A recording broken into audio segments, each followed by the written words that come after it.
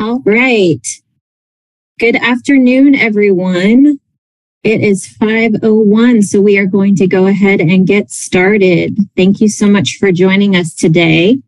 My name is Melanie. I will be one of your hosts behind the scenes for our webinar today. And I'm just going to cover a few housekeeping items with everyone.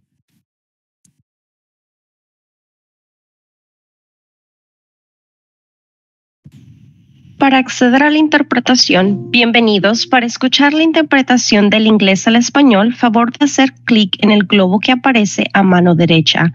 Luego hagan clic en español para escuchar la interpretación. La interpretación no está disponible para las personas que llamen usando la línea de conferencia. Si usted llamó desde su teléfono, por favor cuelgue la llamada y entre usando una computadora o la aplicación móvil de Zoom desde su aparato. Si estás llamando desde la aplicación de Zoom en tu celular, haz clic en los tres puntos, luego en interpretación de idiomas, luego español y finalizado.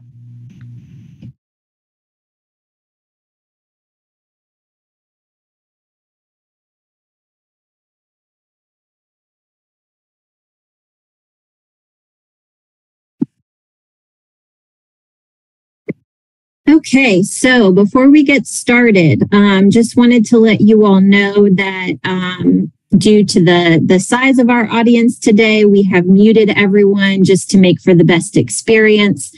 So we do ask that if you have questions that you use the Q&A function at the bottom of your screen. I'll show you a screenshot in just a moment. Uh, if time allows at the end of the webinar, we will pause for additional questions.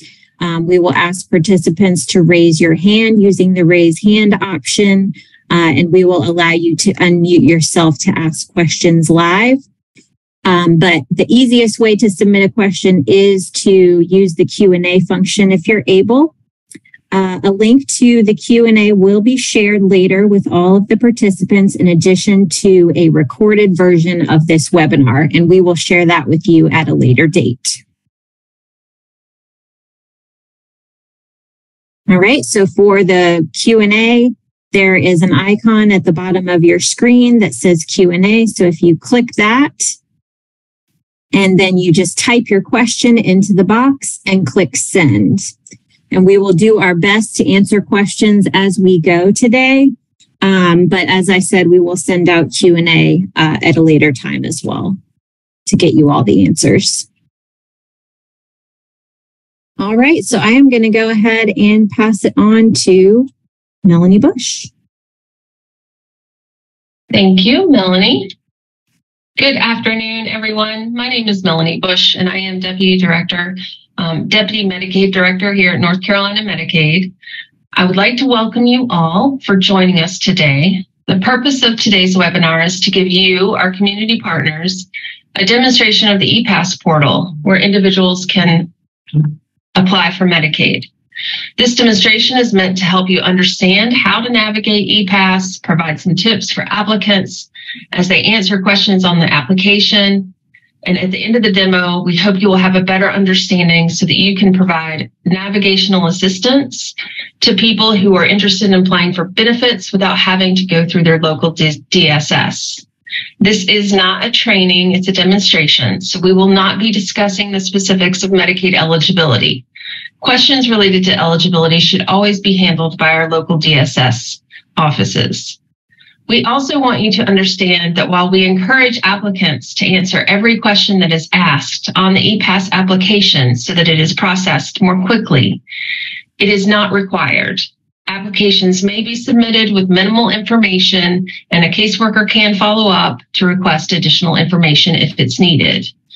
We are recording today's webinar so that it may be viewed at a later date for those who are unable to attend this live session. Thank you again for joining, and we hope that you find this very helpful. Good afternoon. My name is Wes Woolston Hume, and I'm a business analyst and user experience designer uh, for ePass. And today, my role will be able to, to walk uh, through several areas and functionality of ePass including creating an account and submitting an example application. At the end of that application, we'll also go over the enhanced functions of ePass, additional features other than just submitting an application, such as recertifying for benefits or reporting a change. Uh, for the purposes of today's demo, we will walk through an application for medical assistance or Medicaid. Uh, but it's important to note that uh, much of what we discuss is applicable for uh, food assistance, energy assistance, and TANF or Work First. Uh, as mentioned, we have the audience muted today to allow for the best experience. And for our recording, uh, please feel free to use the chat function to ask questions. And we'll also allow for time at the end of the webinar for participants to continue with those questions. And now I'll turn the time over to Liz. Thanks, Wes. Hello, everyone. Thanks so much for joining. My name's Liz Odell, and I'm a Medicaid Operational Support Team Program Representative with North Carolina Medicaid Member Operations. And today, as Wes walks us through the ePass application, my role will be to provide some additional information about some of the questions that are being asked in the application, what they mean, and why they are important. Before we get started, we want to make again make sure that everyone understands how important it is to never discourage anyone from making a Medicaid application. Today, we're offering tips that may help people avoid having to provide additional information after they've submitted their application or avoid the delays in having their application processed. But remember that anyone can apply at any time and minimal information is needed to submit your application for benefits. Please understand that the names and the personal information that we're using today are not real. The scenario, people, and information we are using today are for demonstration purposes only.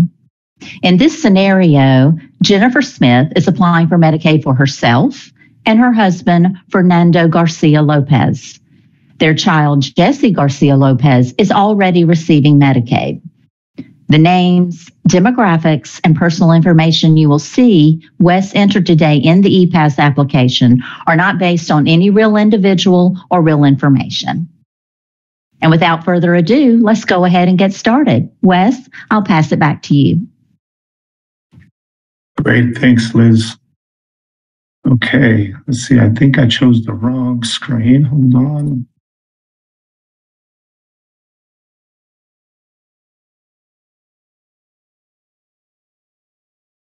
Okay, we should be seeing uh, the landing page of ePass. Um, we'll be going over uh, the ePass site today. This is what it looks like when you land on there at epass.nc.gov. Uh, we'll go, be going over this. For those, um, if you have a device, there's a QR code you can scan with your uh, mobile, the camera on your mobile device. Uh, and uh, our ePass site is uh, reactive, meaning it will change to whatever size of device you're using. So it's mobile friendly and will size accordingly. For our demo today, we'll be viewing it in a desktop mode. Um, but uh, first off, just looking at it, uh, you know, I haven't logged in yet. I'm just kind of seeing what there's here to do. I can apply for benefits. Uh, which includes medical assistance, food nutrition services, cash or energy. I can apply for uh, FNS and energy without creating an account. I can enhance my account, which we'll go over a little bit later. And then learn more kind of gives, uh, there's a, an embedded video here to be able to watch about how to uh, create an account and apply through ePass as well as well as uh, program information for each of those programs listed that actually takes the user outside of ePass over to the DHHS website for those details. Um, we support English and Spanish, so if I hit the uh, Spanish locale button here, all the text, including the application, uh, will change to Spanish text. And at the footer, also uh, there's the ability to go back between English and Spanish if needed. Okay. Um, for part of our demo today, once we're done here, we're actually going to be going in to submit this application and we're going to be doing it in a test environment on a virtual machine and on a virtual meeting. So there may be some lag between screens. Um, hopefully we don't have any technical issues uh, but just wanted to uh, state that as well. in order to um, apply for medical assistance, the individual needs to have uh, an ePass account. And so if they click apply or sign up, it's going to take them to that to log in or to sign up. And coming here, in order to create an ePass account, they have to create an NCID or North Carolina Identity Management uh, ID that's uh, managed by the North Carolina Department of uh, Information Technology. Um, the DHHS agency does not own that site, but it's a, a way to create an account that we are required to use. And so we'll be going over that today. Uh, for most of our people on this webinar, you're community-based organizations, community partners, assisting people with applying uh, for benefits. And so the idea here is to please select what kind of NCID account you need to create. Um, if you're assisting with somebody, uh, they're sitting next to you and you're applying, the idea is you'll be creating an individual NCID for them. That way it's their account and then they can come back in at a later time and manage that case. You are not manage it, managing it for them. You are rather just assisting them in the application process. Also on this screen, there's a, a click here if there's more information needed uh, regarding applying on behalf of someone else. There's great details here. I think we'll send this link out at the end. But again, if you're assisting an individual, you're going to help them create their own individual NCID account. Now, as part of this, we're going to go through this account creation. Um, this recently changed over the weekend. Hopefully this loads right here. I did a video recording of it because it uh, requires a separate email every time and I don't have the ability to just had time to create a bunch of emails. So we're going to go ahead and play this video and I'll talk through it.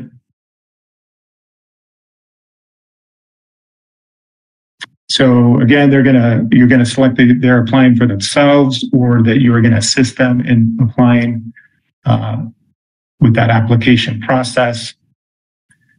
And then by selecting that radio button and clicking Create NCID, it gives you. Um, let me go back a second. It gives you this um, redirect uh, modal that pops up that basically says you are going to be redirected to the North Carolina Identity Management System.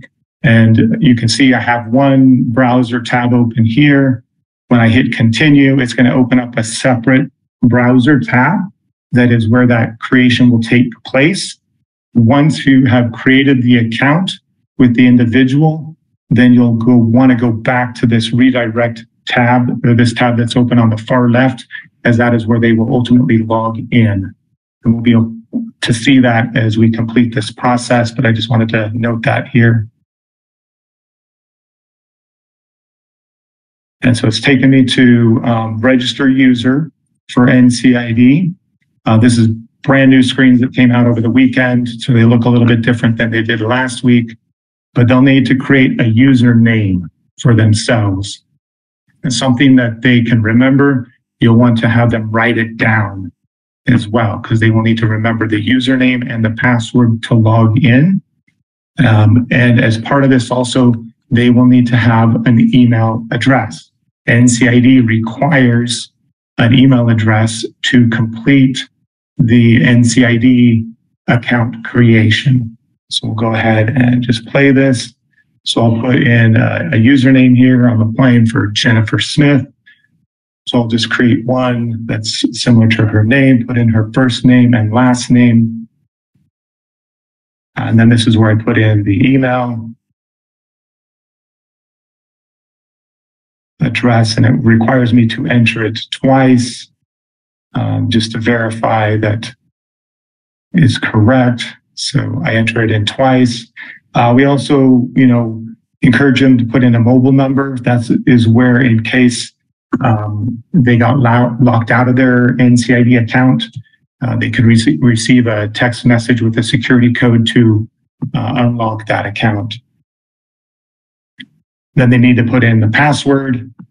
Um, and it needs to have like eight, at least eight characters, uppercase, lowercase, special characters. And those are all defined below. When I've met the qualifications of the password, then the save button becomes active. And then we can hit save. We can see that all green marks are checked, hit save. It's going to confirm the registration. So I'll go ahead and confirm that. that. Yes, that's correct. That's what I want to do. And then it's going to send an email um, to the email address that I entered. So you'll need to help them in their email, go pull it up. We'll pull it up here. And again, this is a different browser. You'll see, aside from the one I have open where I'm doing account creation for NCID and then my ePass one, now I'm going into my email and I can see I have one here from new NCID user verif verification. And it used to be a code uh, that you would enter. Now it's a link that you click and select to complete the application process.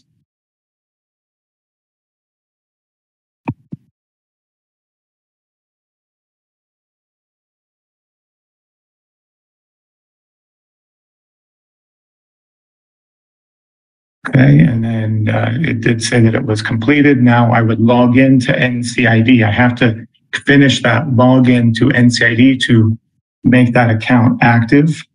So I'll log in with the username and password that was just created.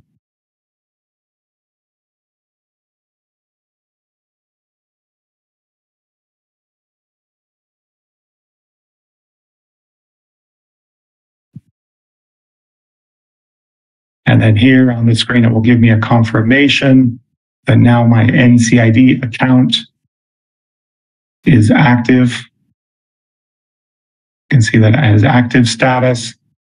And from here, uh, I'll be closing this out and going back over to this tab to then actually log in to ePass with that same username and password.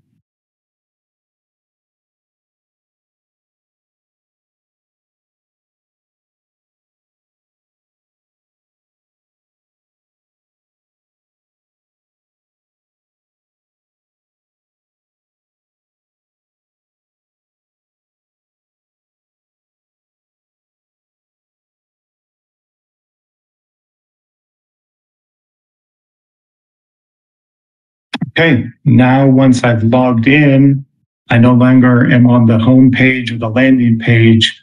I'm on my dashboard. And then this is where I can now, you can see I have a, a button here to apply for benefits.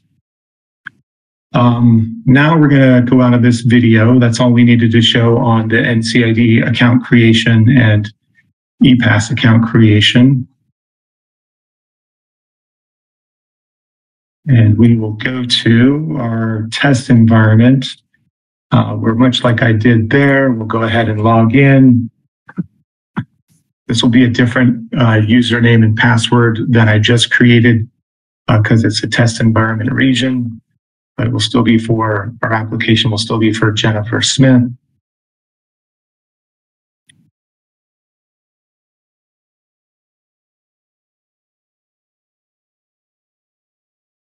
I'll log in.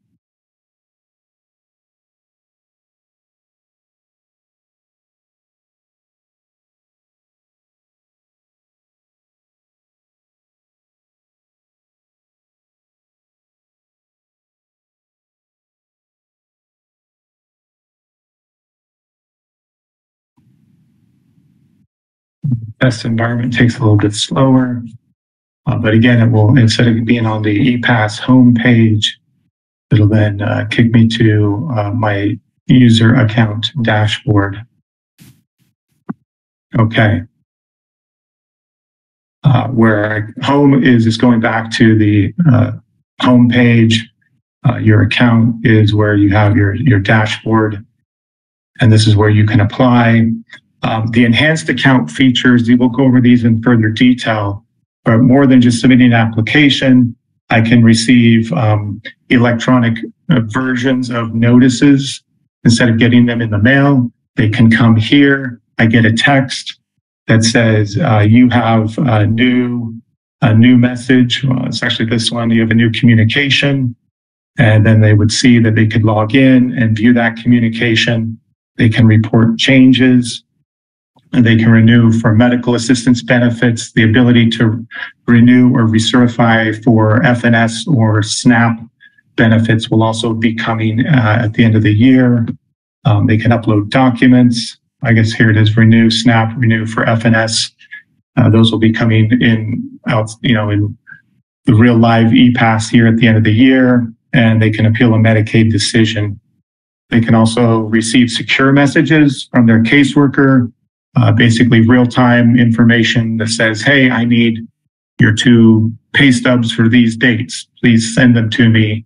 And the person would get a text message that says, Hey, uh, you received uh, a new message from your caseworker, log in to view it, and we'll show that as well. well let's go ahead and move on to the apply. So we're going to apply for benefits. And our application that we're going to go through today, while it's only for medical assistance, within that application, that same application, I can apply for food nutrition services and uh, TANF or work first. It's kind of like a um, automatic transmission where based upon what I select, it'll either include questions or exclude questions that are pertinent or applicable to those different uh, and various programs. So now we're on the getting started page, basically that, you know, we define what a medical assistance family is, um, uh, what a nutrition household is, and a Work First household. We'll refer back to these later on so they don't have to memorize them here. And then we get into the realm of uh, who am I applying for? Myself and my family or household as a representative or an authorized representative. Um, an authorized representative is really someone that has um, basically filled out a form, especially for medical assistance, to act in behalf of uh, and receive information on and make decisions for a case. Uh, Liz can go into that further. Um, for our situation, we're really just going to say we're applying for myself and my family. And that's where if you are assisting them uh, and they're sitting there by you, that's what you would be doing unless you are that designated authorized representative. Liz, you want to go over that a little bit? Yeah, thanks, Wes. Um, an authorized representative could be a power of attorney or someone who has guardianship over another person. And so you there would be a formal legal document that designates a person as that power of attorney or guardianship. And so then they could they're the authorized representative to be able to submit an application without that person present. So they could create an application and submit it uh, for them. If for Medicaid purposes, if you're not a power of attorney, if you're not a guardianship, the applicant can designate someone to act on their behalf as an authorized representative, and we do have a form that's available on the North Carolina Medicaid, the NC Medicaid website, where you go to the area that tells you all about applying for Medicaid. There's a list of forms. It's a DHB 5202C, but it's it, it's labeled as um, authorized representative designation form. But that would be needed if someone would like you to act on their behalf and submit the application on their behalf. But as Wes mentioned, if you're just assisting someone walking through the ePass application, or if you're just sitting with them, helping them work through that, you do not have to be designated as an authorized representative. Thanks, Liz. We know there's uh, a lot of questions around this, and I think we'll be following up with some information uh, in the next week or so. Uh, we're going to go ahead and say we're not applying for FNS. We're not applying for TANF. We're only doing a medical assistance application. And then this is where it's trying to determine, well, is it a household that is based upon the Affordable Care Act, or does it include members based upon traditional Medicaid that would, might be age blind, or disabled? For ours, we're going to say nobody's blind, nobody's disabled, Nobody needs help with daily living activities. Um, within this, you'll see there's some uh, little question icons. Those can, those can be clicked, and there's more information that's given out about that question. Uh, for this one, you know, somebody that needs help with daily living activities, that's not a baby, that's not a young child, that's kind of a, a you know, an adult that basically is living in a nursing home or other medical facility and needs uh, assistance with showering, dressing, getting in and out of bed, uh, toileting, eating, and all those various things. Uh, we don't have anybody in our household that fits that, nor anybody that's age 65 and older. And then these can be selected to just close them back down. We'll hit next.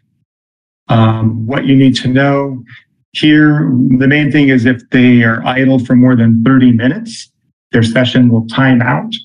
But whatever they've entered up at that point, if they've logged in and created an account, that information will be saved and they can come back and resume that application at a later time. Um, and then we have large pieces of text that we don't want to overwhelm them, especially on a mobile device. So we put in them in what we call accordions, and these can be clicked to just uh, view more details regarding those uh, policies or areas of information. Uh, voter registration, they can indicate that they want to receive information and a registration card. We'll just pass that.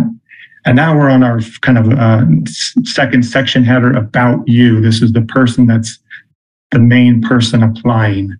Uh, these are some of the details we want to know, uh, why we need to know them so we can verify identity, income, and citizenship, and how they should respond if they don't know the answer. You know, use your best in, information that you have at the time.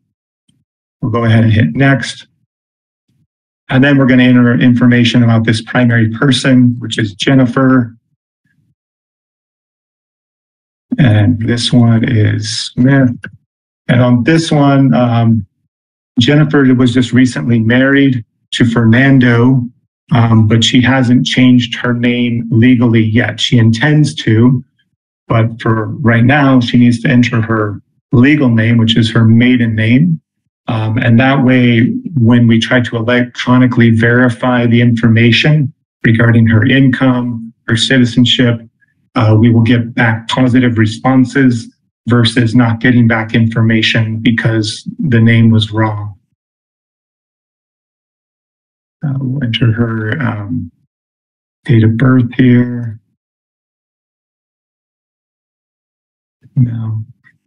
And do you want to apply for medical assistance? So we want to make sure that uh, yes to this question is answered for each person uh, that is applying for Medicaid. There may be individuals in the household that are not applying or that are already receiving. They still need to be entered so that we create the correct household size um, to determine benefits, but uh, we also want to know which of those individuals are applying. Um, and if Wes, if I could just jump in really yes. quickly, I want everyone to be aware that if you submit a Medicaid application, you're submitting for all Medicaid programs. There's a lot of different Medicaid programs. You don't have to specify a particular program. Your your all the information that you provide is taken and evaluated to determine which program is best for you. Great. Thank you. Uh, now they would enter their address if they don't have one. Um, then they would, like if they're homeless, then they can just say what county they're going to be living in. And then we would use that county DSS office um, as their address to mail information to them. We're going to go ahead and say we do have an address. So I'll enter those details.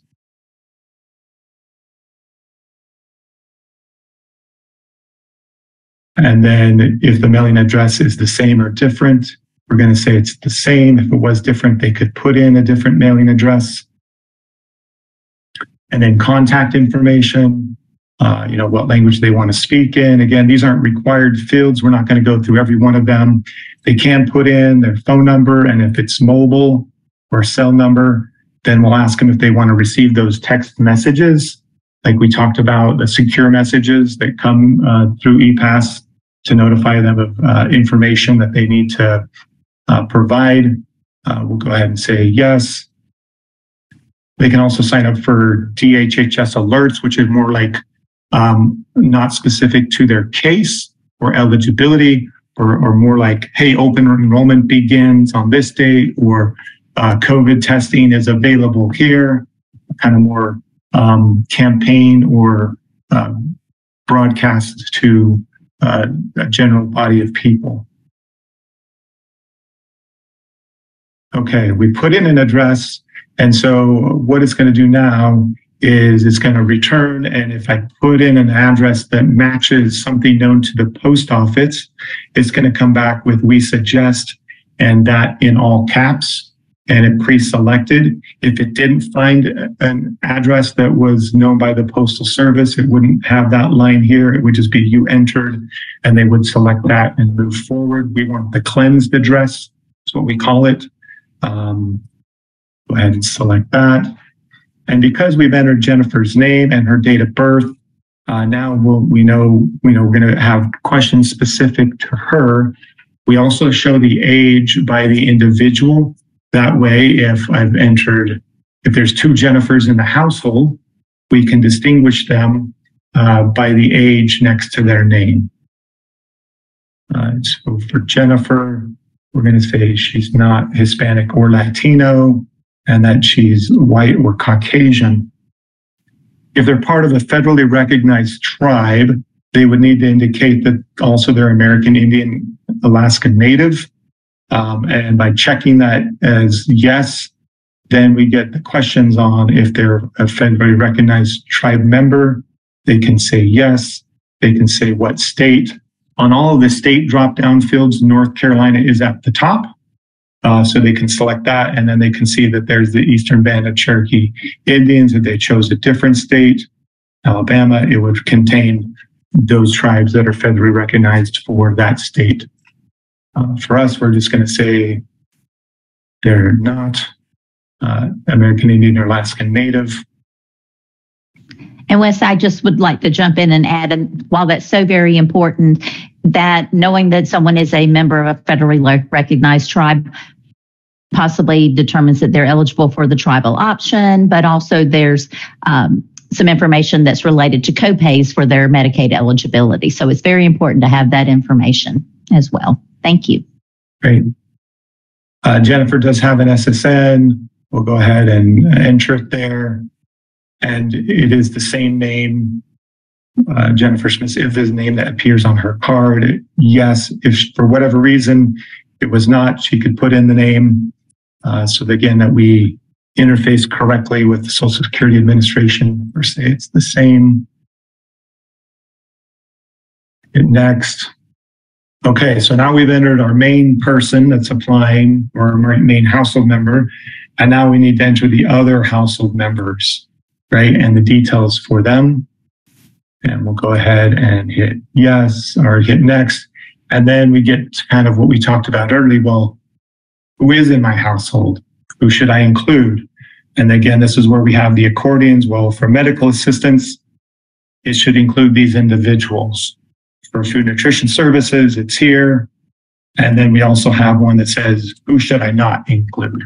So they should be able to look at that and determine, do I have more people to add and based upon that, is there anyone else to add? We're going to say yes. And my household so far is Jennifer, age 33, will now enter her husband, um, Fernando.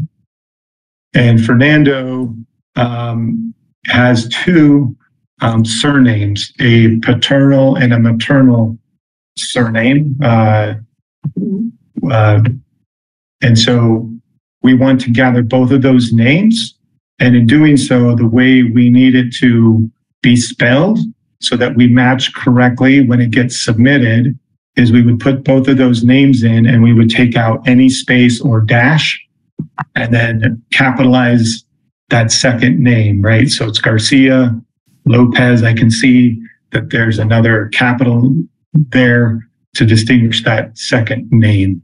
So that's how we ask that you help them enter their last name if they used two uh, surnames. And we'll go ahead and enter the date of birth for Fernando. And yes, he does want to apply for medical assistance. So more about Fernando. Uh, he, he he is Hispanic, Latino, and also white Caucasian is what he indicates his race to be. He does not have an SSN, uh, but he has applied for one. Okay. We've added in Fernando. We have Jennifer, and we go back to this same page. Every time we add somebody in, we're going to go back to the same page to be able to take reference. You know, you've added the people above, take a look and decide if you need to add more people. Again, who should I add? Okay, it's right there, the same reference. So I don't forget or have to, I don't have to memorize that. And we do have one other person to put in, uh, their child. Uh, we're going to put in Jesse. And he also goes by uh, Garcia Lopez as well. So we'll put in the same spelling of those two surnames.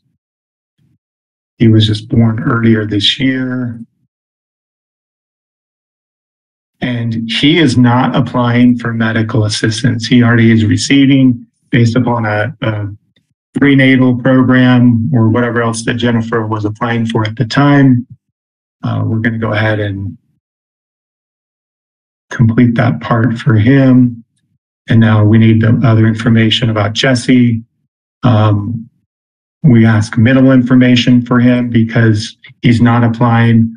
We'll go ahead and put in his social security number.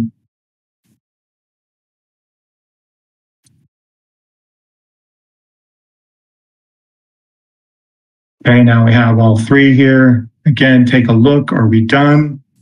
We have the age, the age by each one. So if we had two Fernandos, we could distinguish, okay, I do have both Fernandos here.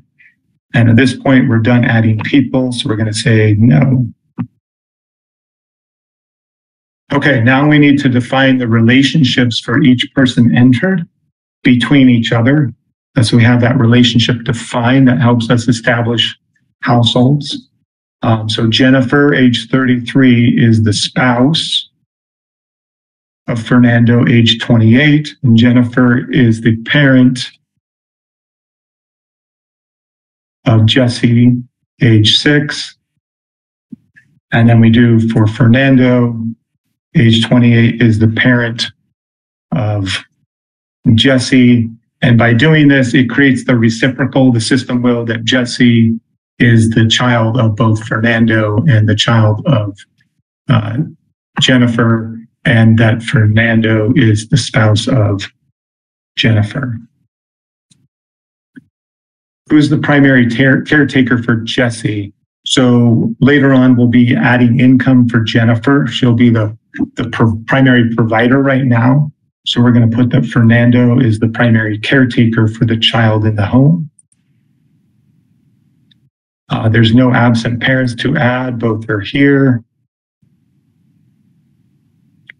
Okay, and the, the Medicaid program is built around the Affordable Care Act. It really focuses on a tax filing household, or if the household does not file taxes, then it uses relationships. Um, we're going to say, well, this household files taxes, Jennifer and Fernando, and because they're married, it's going to ask, do they plan to file jointly? We'll say yes.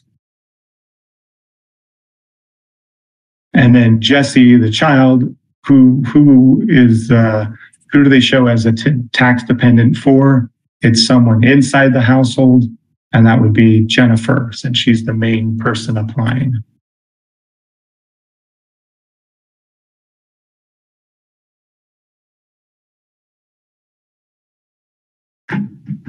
Hey, Wes, so I'll just jump in real quickly. Mm-hmm. And just like um, Wes mentioned, if they don't file taxes, that's okay. We can still determine Medicaid eligibility. There's just a different method that is used to determine that eligibility.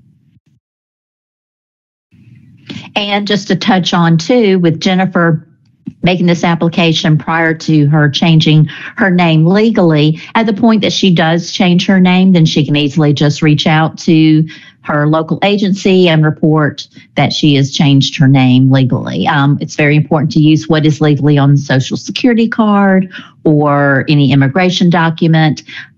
Just like Wes said, for our electronic methods of verifying information that's available these days that will help ensure um, a match. Okay, so where do you live? Uh, there's a few questions on this. If they've entered an address, we show that address and then we ask the question, does everyone in the household live with Jennifer at the address above? We can say yes. Are all residents? Uh, yes. Is anybody temporarily absent? We'll say no. And again, if we have questions on that, what does temporarily absent mean? It's basically, let's say I'm gone for a short period of time, like a short term job, short term military deployment. I'm at school. Um, they're still, they can still be considered North Carolina residents. They're just temporarily absent for a short time. And then is everyone a U.S. citizen? We will say no. Um, Fernando is not a U.S. citizen. And then we can it asks, well, what is his status? Um, if he doesn't have, if he's not a U.S. citizen, does he have el- eligible immigration status? And they can either say, I prefer not to say, or yes. And then we would select what that status would be. If it's any of these, for our ours, it's going to be none of these. Um, and he has documentation on a I-94 in an unexpired foreign passport. Um, did he meet any of these statuses when he entered? No. And he recently entered was uh, just like a year and a half ago. And he's not sponsoring anybody. Then it gets into the five year bar. This is basically if they have certain eligible immigration status, they can receive, they can be eligible and entitled to benefits uh, right off without waiting for five years, such as an asylee or a refugee are good examples. For our situation, we didn't select any of those. Or if they lived in the US before this date, we're going to say no. Um, also, if they are a vet or mili- uh, have military status or their spouse or they're the child of such, then we would ask those questions. Ours are going to say no, but those are other ways to pass that five year bar um, rule. Okay, wants to know about the supporting document, that I-94 uh, that we entered. So we'll put in the I-94 number, um, the passport number, country of issuance. We're going to say it's uh, uh, Dominican Republic. Um, we would enter a visa number if we had one, if there's an expiration date. And if his name is different, then we can select that here. Uh, we're going to say that is the same, so there's no difference. And now we get to the household summary. And this is the, the kind of the demographic information that we've entered so far on the household. And it's important that we look at this information and review it, um, check all the information twice, make sure we don't have any misspelled names, transposed numbers or wrong date of birth or social security number. I can come view it. If I see that something's wrong, oh, let's say Jesse, oh, his date of birth, I have that wrong. I can hit change.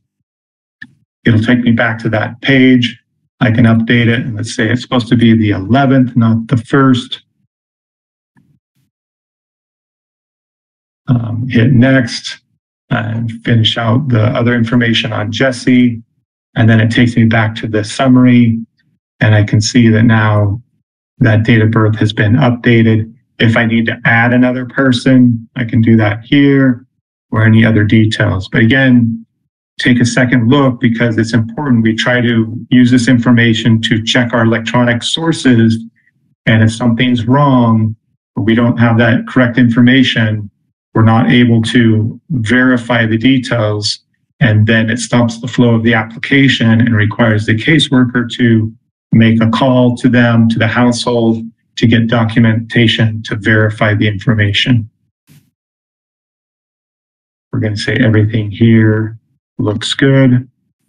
Wes, I'm just going to jump in. They, Yep. the caseworker would also send something to you in writing, a, a formal request for any information that may be, be missing and needed for the application. Great. Uh, we're now on the section about income and money. Um, and does anybody receive income? Um, here below uh, some of the questions, we have what we call hint text. It kind of just gives more details about what that might be so they can quickly see, oh, yeah, I do have a job. Uh, so, yes, um, Jennifer, if I remember again, we have the ages here so we can distinguish different people with the same name. So there's uh, income being received, but not any educational scholarships. So we'll say no. And again, this income is based upon income that you would report on your tax form. Uh, so when you get in here and you see the type of income that there is, it's all based upon what you would enter on a 1040. Uh, we're going to say she has a job. Uh, she works at Belk. Um, she works 35 hours a week.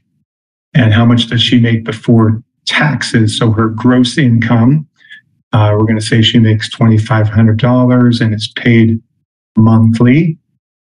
And she started that job a, a couple years back. It has not ended. And then the question, does she have any more income? So if she had a second job, uh, maybe part-time as well, you could say, oh, yes, and it would save this data, refresh the screen to enter more de- the other job details for Jennifer. We're going to say we don't have any more, so we're done. And then we get into deductions. Again, these are deductions that you can claim on your 1040 tax return. Here's again some high level things, what they might be student loan interest, health savings account. We're going to say yes and that Jennifer does, we're going to say she has a student loan, right? And this deduction, uh, here's all the different deductions that can be allowed. Um, it could be 401k, it could be a health savings account. We're going to say this one is um, uh, the student loan interest. So it's not the full student loan, right? So if my, my student loan is $250 a month, well, how much of that is interest that I pay? We're going to say it's $25 a month. I've been paying on it for a few years.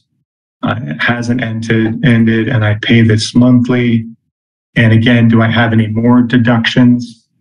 If there were more that were in that list that I saw previously, I could say yes. We're just going to add this one.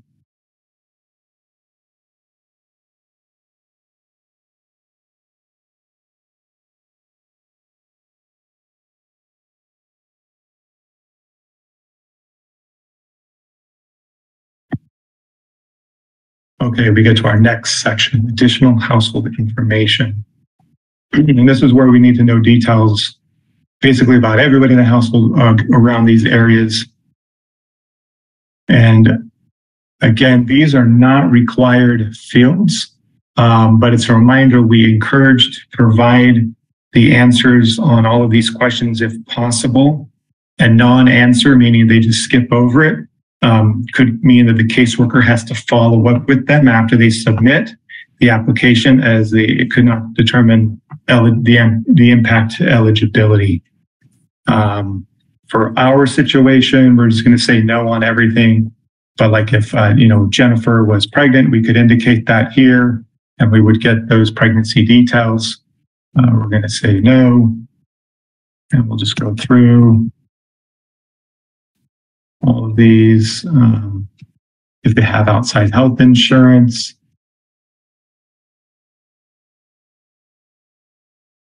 incarcerated, Indian Health Services. I think Liz, you talked on that. Yeah, just a reminder that's that's very important to note if they are eligible for Indian Health Services. That goes along with that tribal, federally recognized tribal membership. Great. And then also if they wanted to select a primary care provider, doctor, or an NC managed care plan, they could do that here as well. We're going to say no. Um, we don't need to go through that process here. Liz, did you want to add to that? Yeah, thanks. And I just want to clarify too, someone could be eligible for Indian Health Services, but not a member of a federally recognized tribe, but there's a connection to that federally recognized tribe.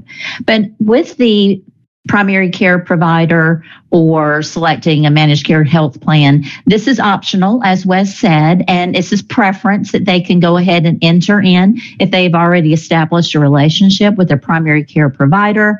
Um, they can put that name in there. We can uh, hope we can. It's again, it's a preference. We can hope try to make sure that that gets who you get assigned to. Um, not everyone's going to be managed care. We do anticipate the majority of those that will be eligible for the Magi adult group, the Medicaid expansion group will be enrolled in the standard plan. And so they can put a preference for one of the health plans. If they have done some research, if they're aware of the plans and have one specifically that they would like, they can put a preference in there. So if they are required to enroll with the health plan, that preference is in there. And um, with, through an algorithm, they could be enrolled with that health plan. But just to keep in mind, that we can um, they can change who their plans within 90 days.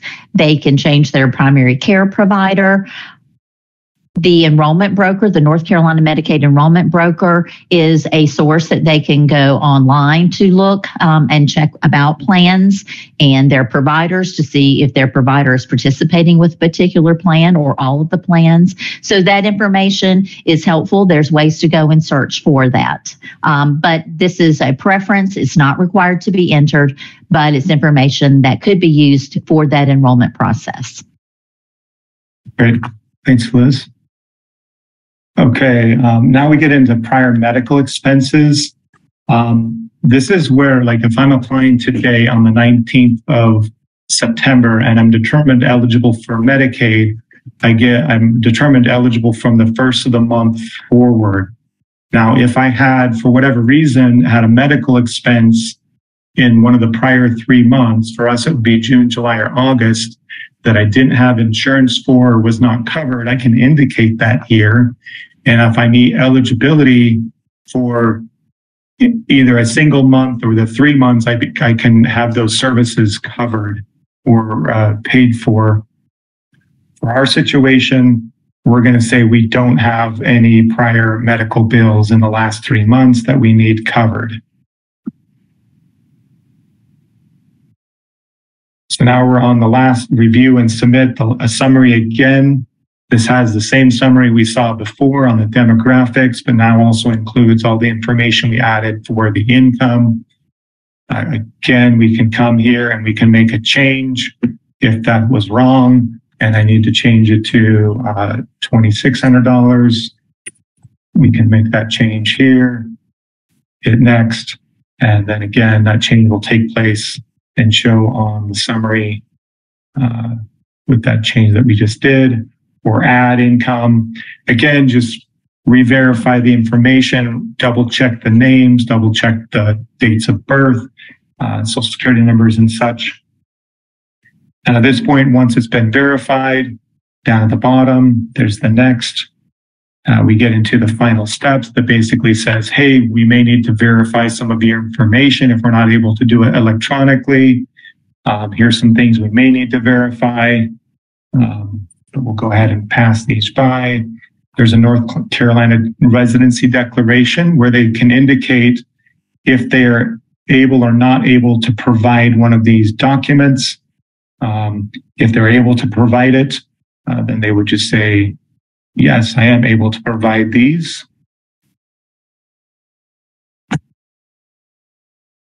And now we get to the sign and submit, uh, where they basically are saying that they've filled out an electronic application, that they're agreeing to comply with like medical support of an absent parent if there is one, that they've given true information, um, that they're electronically signing this and under penalty of perjury, the information they've given is accurate to the best of their knowledge. Um, they would then enter their name here. And just like a written signature, this is legally binding. It's their electronic signature. Uh, they would hit submit. And then we get the confirmation your application has been submitted. Uh, next steps. Um, this is great. It's showing so Uh, this is something that's going to be coming out. This is a test environment, right? So things are changing all the time. Uh, but this is where they now can say, oh, I need to verify some things. Well, I can add that to my application. So I can go here um, and I can say, well, let me add my driver's license, select it, and my driver's license is add there. I can add more files if I need to. Let's just pick another one and those are all there. And then I can submit those files with my application, right? So submit and close.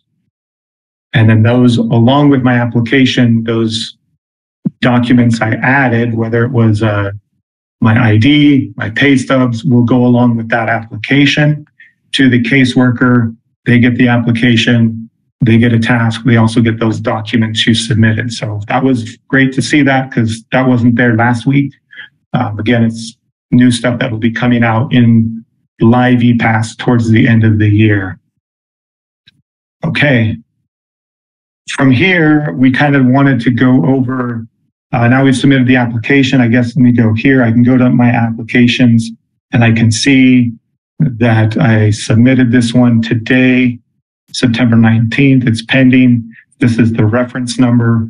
So if I needed to contact the county office, I can give that reference number to them. They can use it to look it up as well as my name and social security number and other identifying information.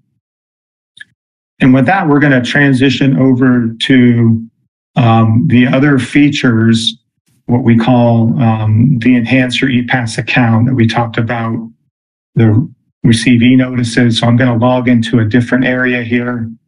It'll just take a minute.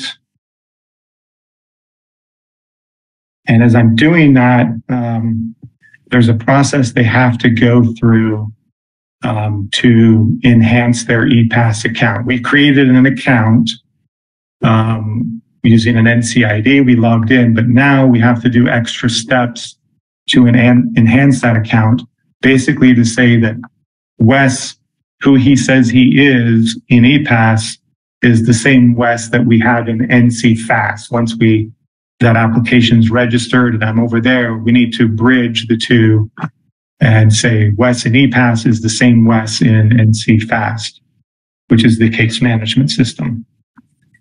So maybe take a minute while that's doing that. Okay, let me log in.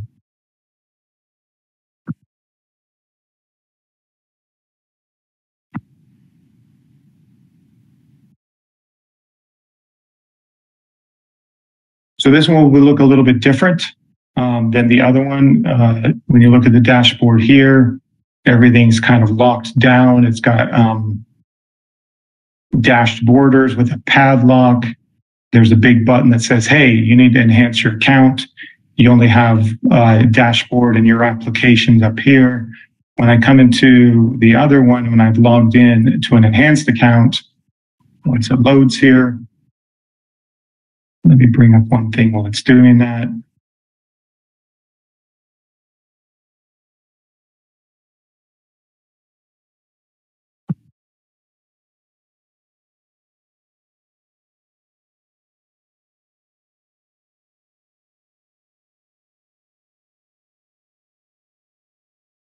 if it's loaded yet.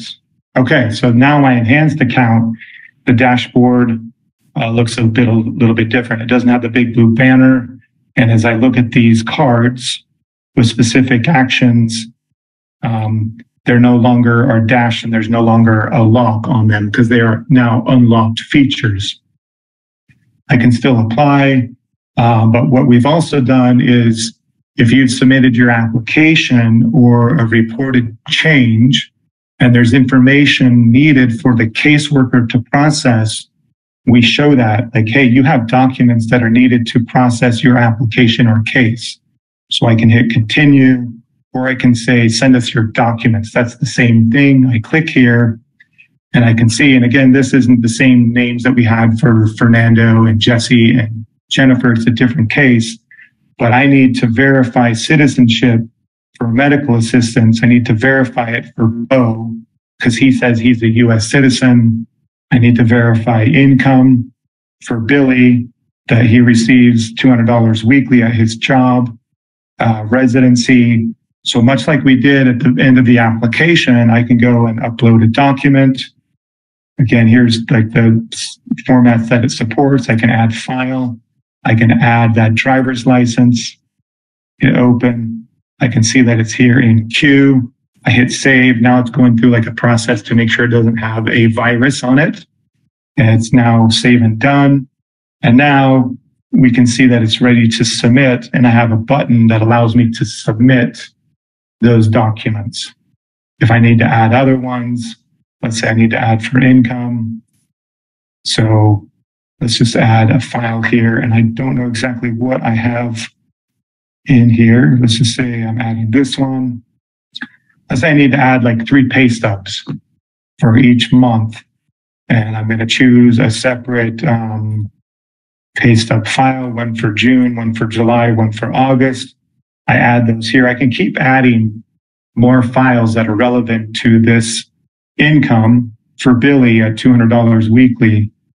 Hit save and then save and done. And then they're also showing here. Now I'm ready to submit my documents for income.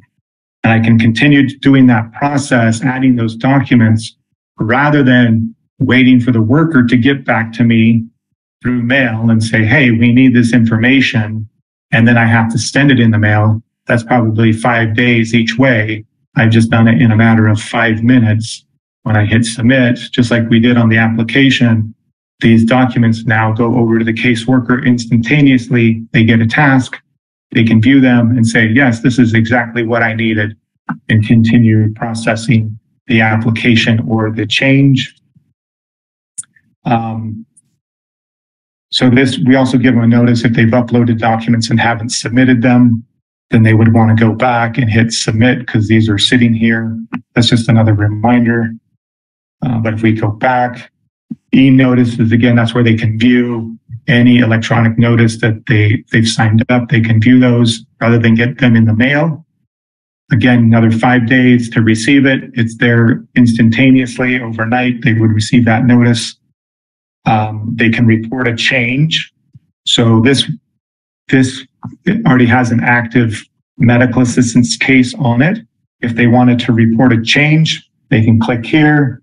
Um, they're not receiving food nutrition services, so they can't report a change for that, but they are receiving medical. So they'll report a change for medical assistance. Hit this button, and it kind of looks like that same application we went through. It has the same look and feel. Um, they'll hit next, and it gives them that same type of summary that we just saw. They can come here and say, "Oh yeah, something did change."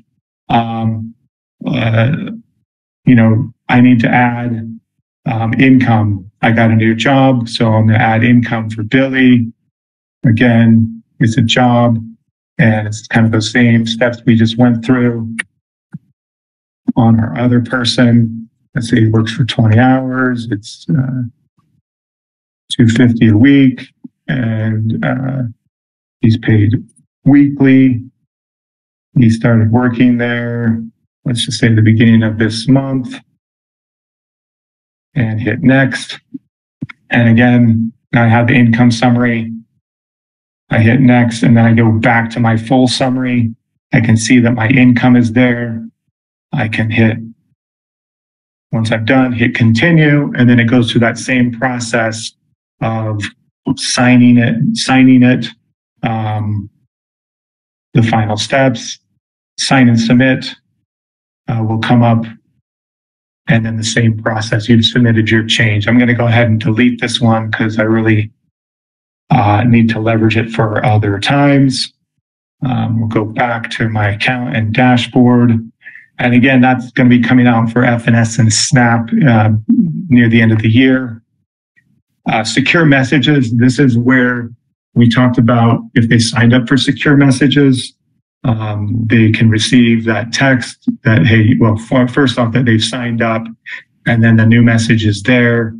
Uh, they can go here and they can say, oh, I do have a new message to view. I can click it. I can see here's one that was already sent to me. I've already read it. Here's my new one. If I click it, then the full message comes up Um, you know, please send in information for, uh, in a form of identification for Bobby, student ID, birth certificate, driver's license, close. Uh, this one that we just got new, I can see how they need the pay stubs for July and August, hit close. The new now goes away uh, because I've taken the action. I've understood what I need to do, but I always can go back and review that again if I need to. It just doesn't show as anything outstanding anymore. Um, let's see here. They can update their account settings. This is where if they need to change their phone number or email for logging in, they can do that here. Uh, subscribe or unsubscribe to those secure messages or update the uh, text, the mobile number where those go to. Um, one other thing um, to cover here, we showed how to upload documents on the desktop. Um, on a mobile device, it'll recognize that it's a mobile browser. So when they bring it up and they add the document, not only will it give the option to choose a file, like we did on that file picker with the desktop, but they can also access the photo library or just take a photo oh, there's my, photo. let me just take a picture, snap it. It'll show there. I can add that file and I'm done. So mobile friendly for that as well. Um, now the question kind of remains is, well, those are the hands enhanced features, but how did I turn them on? So with that, um, there's another demo to view here, another recording. Um, within the ePASS application, if they meet certain conditions after they've added in the first person, let's say they're applying for Jennifer, they've added in Jennifer's details. If certain conditions are met, then we'll ask, well, does Jennifer, do you want to enhance your account and turn on these features? Um, what that requires is um, that we submit their information to Experian, which is one of the three main credit bureaus. And then they get asked a series of questions regarding their credit history. So if you've ever bought something on credit, a house, a car, you've taken out a student loan, you've filled in certain details about your age, your address. It knows the house you're buying, like where it's at, number of bedrooms. It knows the type of car you're buying, whether it's a Toyota, a Honda, or a Ford. And so it'll ask you those type of questions. And so we're just going to quickly kind of view this in a video. Um, so again, um, if we meet those features, let me go back 10 seconds here. Hopefully it doesn't time out. Okay, so here, once I've entered in the information again, uh, and I meet the qualifications such as entering a, an address, I've entered an SSN, um, I have credit hit or I'm at least age 18 or older. Um, it'll then ask me if I want to um, enhance my account. So here I'm going to enter an SSN in. And there it was like, hey, do you want to enhance your account? Here's the features. We're going to go to Experian. And you agree to go through that process? They can hit yes or no. If no, they just skip and they start adding the second or third household member, right? So we're going to go ahead and hit yes.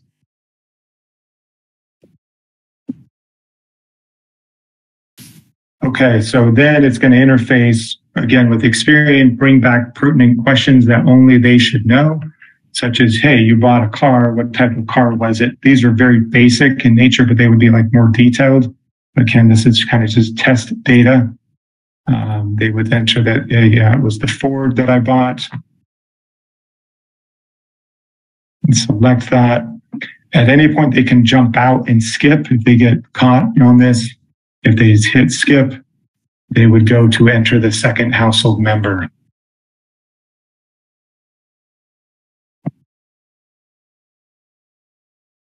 And this will ask them like three to four of these uh, credit style questions. What is the year of the vehicle? Uh, you know, because it was bought on credit.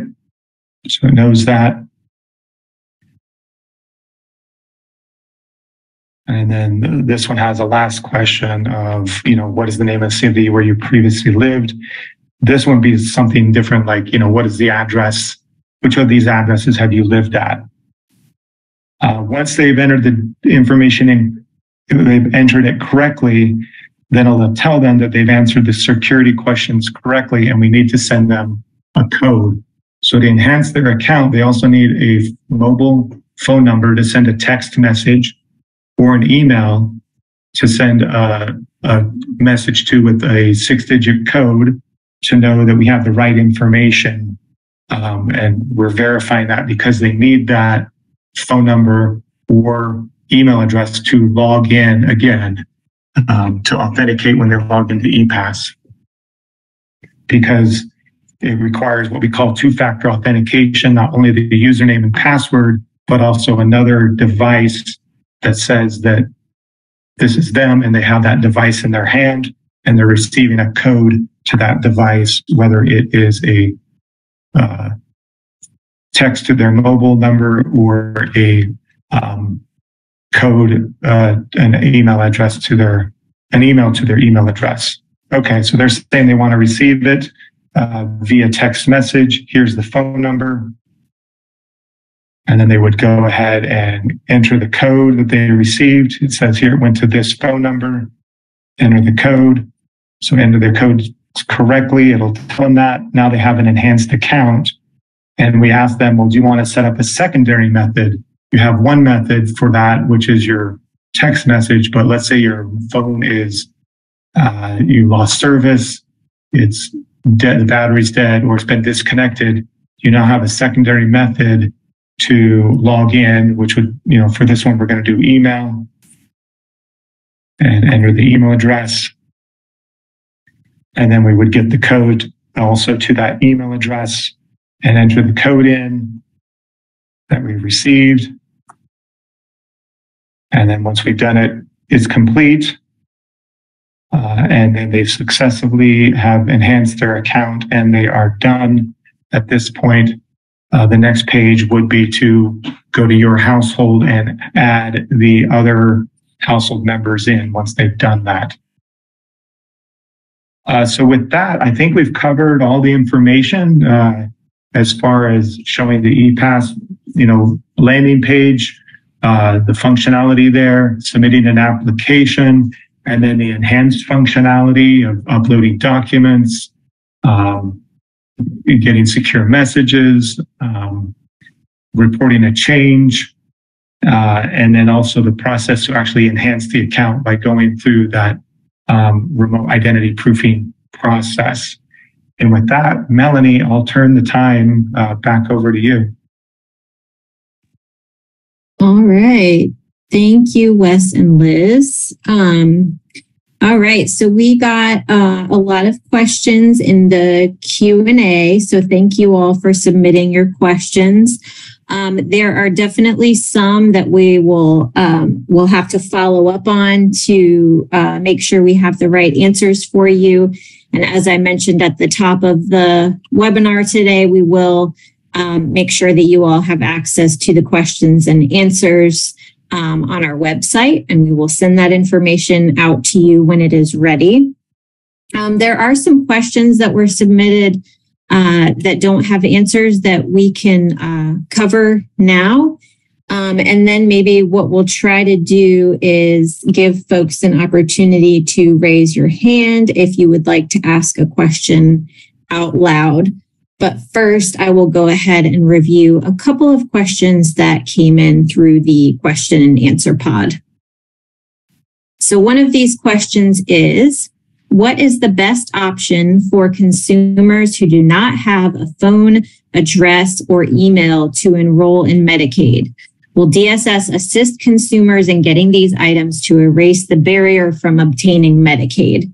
And we did have some other questions that were similar to this. Um, Liz, do you want to address this? Sure. Thank you. That's a great question. And so you don't have to have an email address to apply for Medicaid. You do not have to have a permanent address uh, to apply for Medicaid or receive Medicaid. We do have a lot of beneficiaries who may be unhoused and do not have a permanent address. Many times they use that uh, the DSS as their address, and they come by frequently to check any mail, or they may have use address for someone else just for their mail to go to.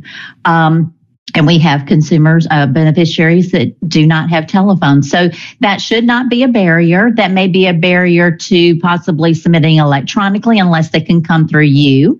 Um, the uh, uh, to help them assist in completing a paper application and mailing it in. They can also go to the DSS. So there's all kinds of different ways, but no, those should not be a barrier to applying for Medicaid or even receiving Medicaid benefits.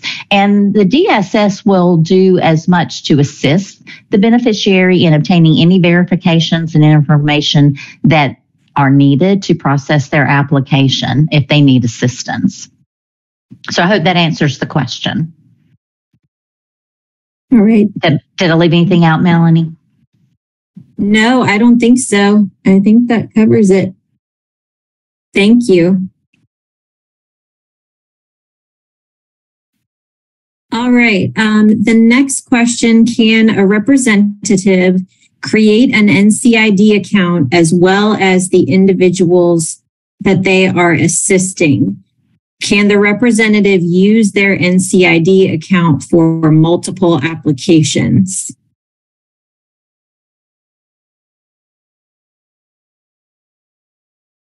I can kind of take that one on. That's where um, they would need to uh, register a business NCID. If you are submitting uh, multiple, if you're assisting multiple households and submitting multiple applications, um, you need to create a business NCID within uh, the NCID account creation. And then you need to have that account.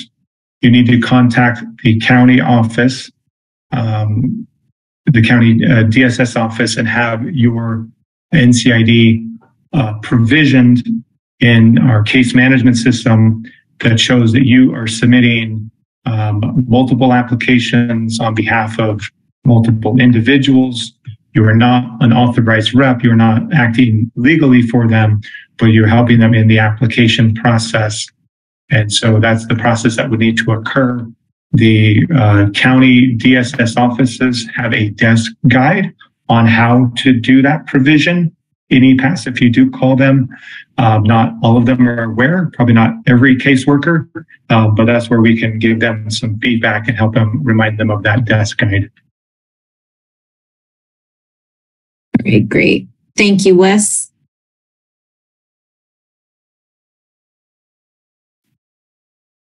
All right, let's see. Um, if someone in your household is incarcerated, are they considered temporarily living outside the home? I know earlier in the application you covered some scenarios that would consider that would be considered a temporary absence.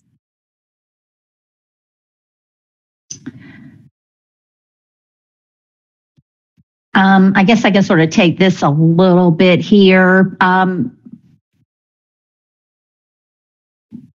yes, I think we would need to know about that that household member.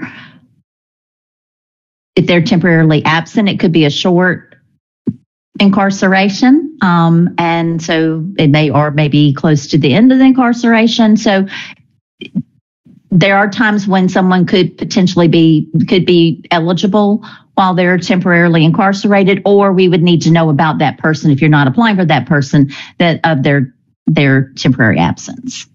And just additionally on that on that page that had all the questions about pregnancy, that had the managed care questions, there was a question: Is anybody incarcerated?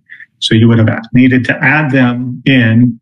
Uh, you can put them as temporarily absent if need be, uh, but I think that temporary absent is of the state right? Maybe they're incarcerated in Virginia. I don't know. But then you would add in those incarceration details for that. And again, the system using information that we receive from data sources such as Department of Corrections, uh, that would help guide us on their eligibility or not. All right. Thank you.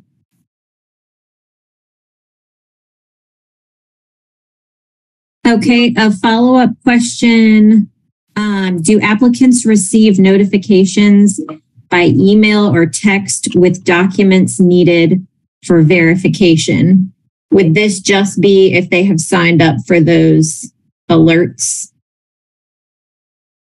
So even if they sign up and re- if they receive e-notices, which is an electronic version, uh, then that's the way the information is going to come to them instead of the post office delivering it in their mailbox. If they sign up for e-notices, that notice of additional verifications needed is going to come. Uh, they're going to receive a text or email that says, "Hey, you have uh, a notice to go view." Go log in. They would view it. They click it. It looks exactly the same. It's a PDF and it looks exactly the same as if it was printed out and it came from their mailbox.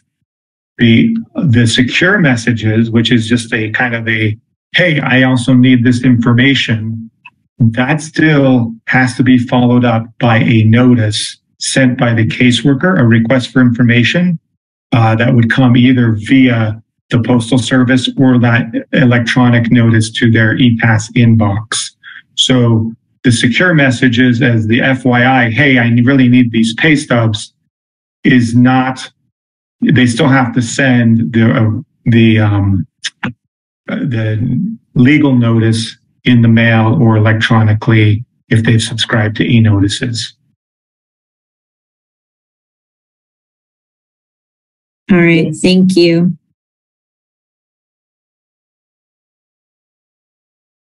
All right, so we do have um, we have a couple more questions we can review in the chat. But if you are unable to submit a question in the Q and A, um, feel free to raise your hand, and I believe that I can try to to unmute you and allow you to come on camera if you would like. All right, so. Um, will the enrollment brokers have access to ePASS? No, the enrollment broker does not have access to ePASS.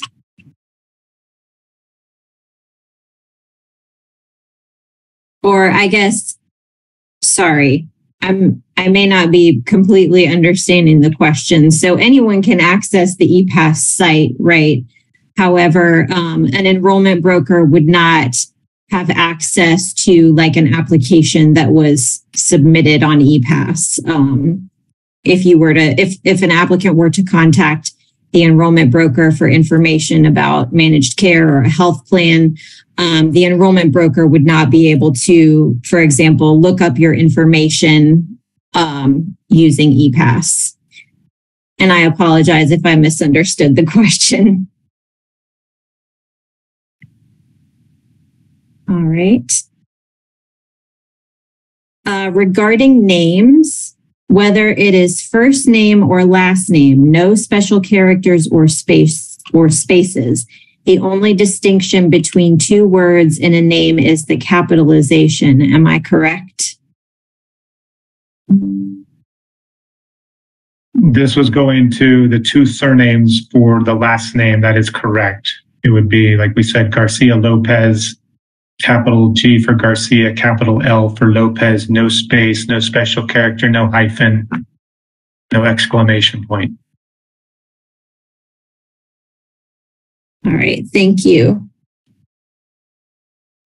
Okay, I received a message that someone has their hand up, but I cannot see it on my end. Oh, wait, here we go. Okay, Betty Taylor.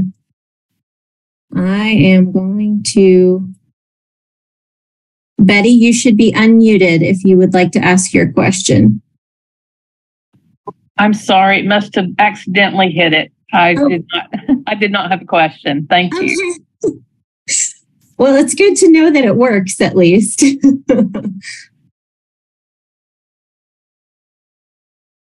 All right. Oh, I see one more uh one more hand up. So, Kevin, if you would like to go ahead and ask your question. Yes, thank you so much. Uh, can you hear me? We can. Okay. Um, my question is regarding um, the NCID business account. Can you please clarify that a little bit? Um, and I guess I'm wondering if it applies to my, um, I guess my clinic. We're a free clinic in Brunswick County, and we're just uh, if we're applying on behalf, well, helping others apply, do we need to sign up for an NCID business account?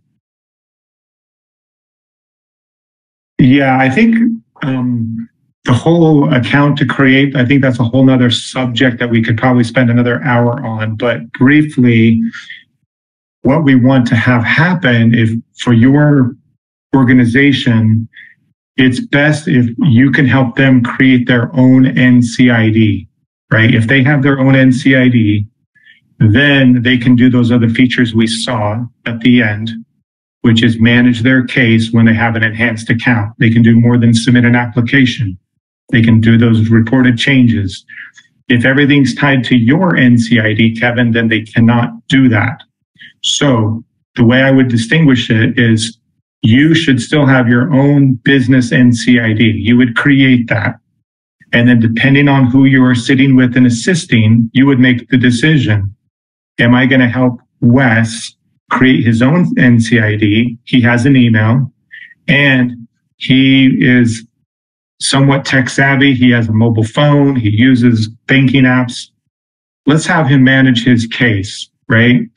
Whereas if I'm going to sit and assist with Susie, and let's say Susie's 85 and she's probably maybe I'm not saying age is the only deterrent, but maybe she just say she just needs to have an application submitted and she's not going to manage the case.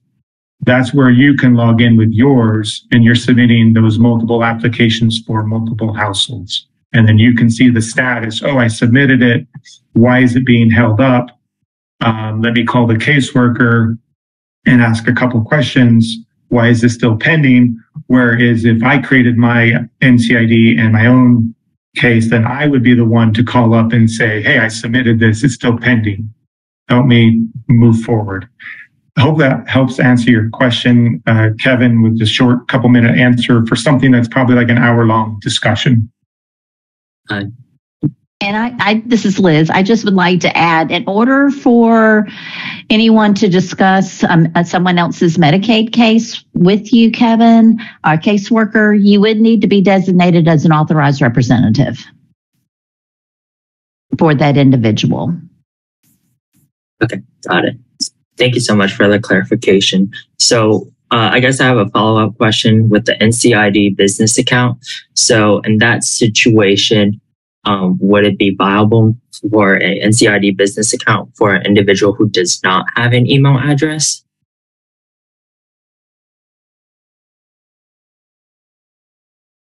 So that goes back to like if if you're signing in, Kevin, you have an email address because you created your business NCID. You're assisting somebody that doesn't have an email address, nor do they want to create one, nor do they want to manage their ePASS case, their ePASS case online, that's where you can just log in as yourself, right? Have your own business NCID, log into ePASS, and then assist them in submitting that application. Okay, got it. Thank you.